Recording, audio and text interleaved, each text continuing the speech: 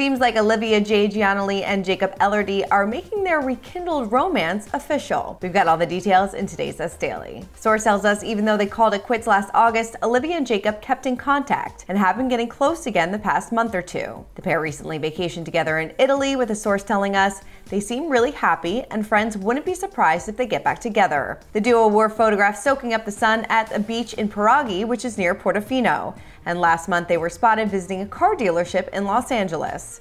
An insider recently told us they wanted to see if their connection was still there. The twosome initially sparked romance rumors when they were spotted grabbing coffee together in Los Angeles back in December of 2021. At the time, a source told us they both got out of relationships recently, so they're not rushing into anything serious.